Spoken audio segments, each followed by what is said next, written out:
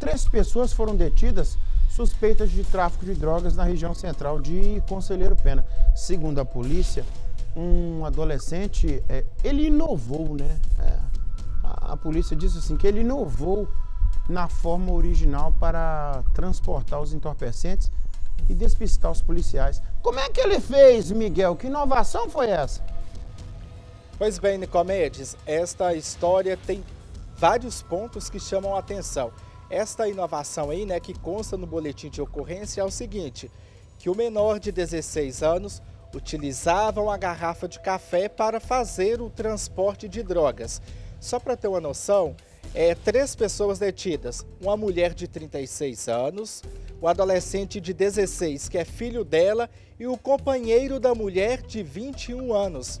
A informação é de que a família mudou para Conselheiro Pena há pouco tempo com a intenção de criar uma organização criminosa voltada ao tráfico de drogas. Outro ponto que chama atenção nessa história, Nico, é que o imóvel alugado pela família fica em frente à delegacia e perto de uma praça na região central de Conselheiro Pena. Pois bem, após a polícia receber a informação, né, foi montada uma operação, os militares fizeram a campana e observaram que o adolescente saiu da casa dele com a garrafa de café e entregando alguns produtos para outras duas pessoas.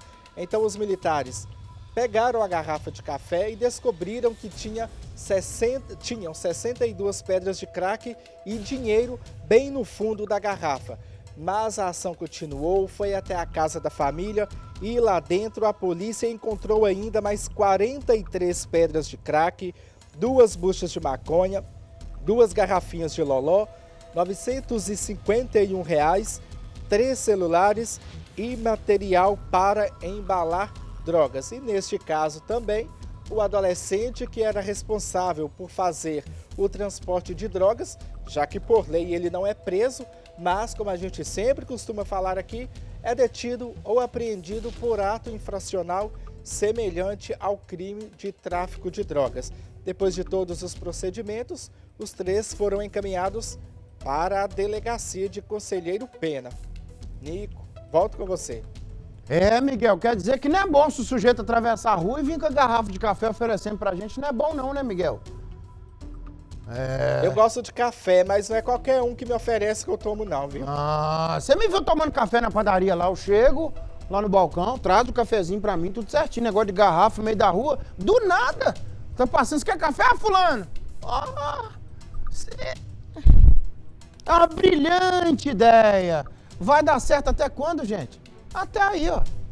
Ah, obrigado, viu, Miguel? E respeito com o café, Miguel. Passo para Conselheiro Pena. Misericórdia.